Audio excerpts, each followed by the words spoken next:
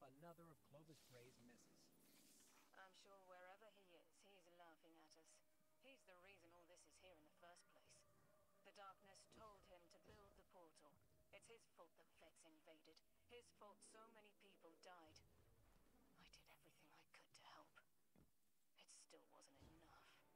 There's no use in quantifying